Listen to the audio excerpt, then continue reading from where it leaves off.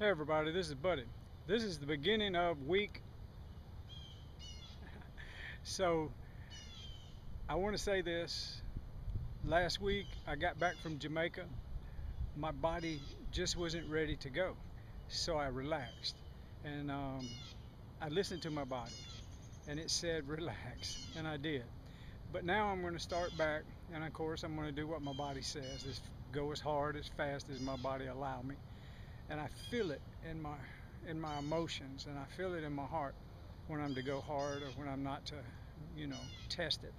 So I'm going to go as hard as I need to go.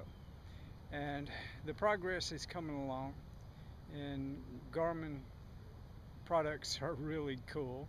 That helps me uh, pace myself, see myself, uh, stats, where and when I need to increase the heart rate monitor is, is really wonderful.